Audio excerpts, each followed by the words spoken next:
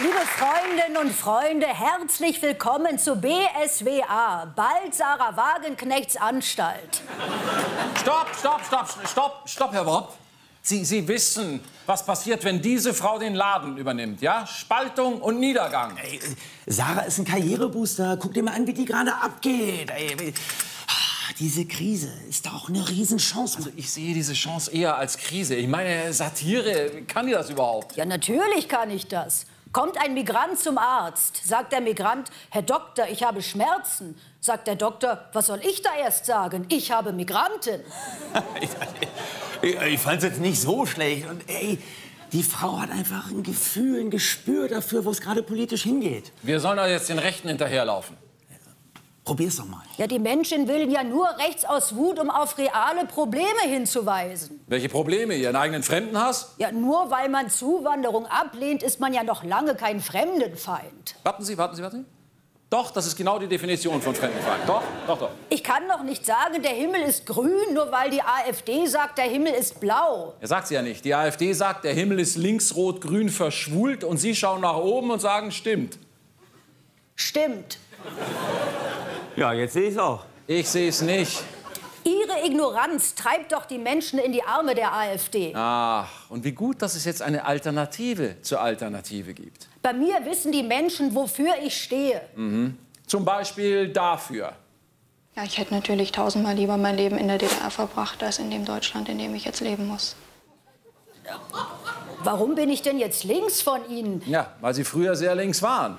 Ich halte Ihnen ja auch nicht Dinge vor, die Sie als Jugendlicher mal gut fanden. Ich war ja auch kein Anhänger einer Diktatur, sondern von KISS. Auch nicht schön, aber das ist eben der Unterschied. Keiner fordert Sie heute auf, sich von KISS zu distanzieren. Das habe ich längst getan. Also Leute, ich, ich fände es jetzt super schade, wenn ihr wegen KISS nicht zusammenkommen würdet. Versucht es doch noch mal. Also gut, aber erst muss sie auf die Seite gesetzt werden, auf der sie sich wohlfühlt. So, Schauen wir doch mal, ob die Leute tatsächlich wissen, wofür sie stehen. Zum Beispiel beim Thema Asyl. Schon wieder? Naja, Sie haben damals gesagt, Abschiebungen stoppen, Flüchtlingsunrecht abschaffen. Ja, das war 2012. Vielleicht sollte ich das mal von meiner Homepage nehmen. Damals waren Sie noch für das Grundrecht auf Asyl. Ja, richtig. Ich konnte ja nicht ahnen, dass das Hunderttausende ernst nehmen. Ja. Und jetzt wollen Sie Geflüchtete der Verfolgung ausliefern. Sie drehen mir das Wort im Mund herum. Ich bin natürlich dafür, dass verfolgte Menschen Schutz finden. Aber das muss ja nicht in Deutschland sein. Na klar, Sie sind ja auch für Pressefreiheit. Muss ja nicht auf dem BSW-Parteitag sein.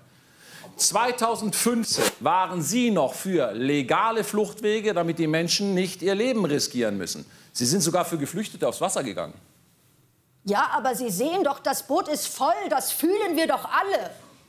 Heute haben Sie das Gefühl, dass die allermeisten zu Unrecht in Deutschland sind. Ja, richtig. Wenn ich mich da mal selbst zitieren darf. Noch nicht einmal ein Prozent derer, die einen Asylantrag stellen, haben auch ein Asylrecht. Sarah Wagenknecht 2024. Ja, das ist vor allem mal falsch. 70 Prozent der Asylbewerber bekommen Asyl. Kann es sein, dass Sie lügen? Das ist eine ganz unverschämte Unterstellung. Ich sage lediglich sehr geschickt die Wahrheit.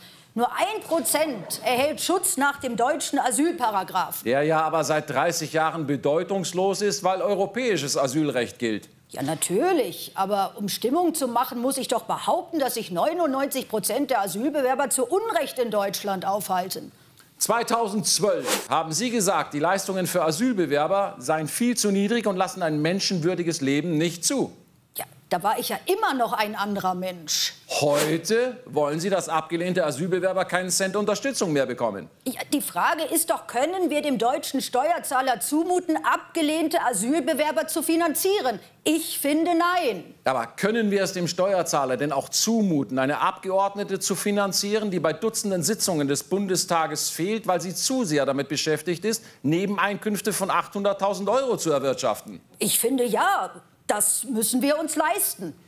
Aber laut Verfassungsgericht hat jeder, der sich in Deutschland aufhält, einen Anspruch auf ein menschenwürdiges Existenzminimum. Nun, darunter versteht ja nun jeder etwas anderes. Vor allem die, die über ein Existenzmaximum verfügen. Haben Sie deswegen auch Vorbehalte gegen das Bürgergeld? Hier. Sie waren für die Abschaffung der Sanktionen, die Sie heute teilweise befürworten. Sie waren für eine generelle Erhöhung der Hartz-IV-Sätze, die Sie heute beim Bürgergeld ablehnen. Sie haben davor gewarnt, Bürgergeldempfänger und Niedriglöhner gegeneinander auszuspielen. Heute warnen Sie vor Sozialmissbrauch und sagen, das Bürgergeld sei unpopulär, weil die Hälfte der Empfänger keine deutschen Staatsbürger seien. Das sind doch alles AfD-Positionen. Worin unterscheiden Sie sich denn noch von der AfD? Dass wir nicht mit ihr zusammenarbeiten würden. Vermutlich.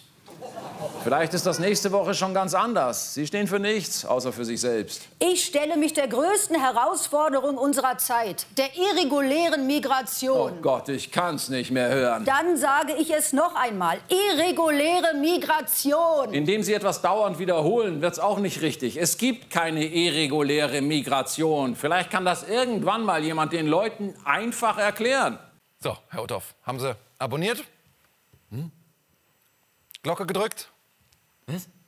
Sich eines von den beiden Videos hier angeschaut?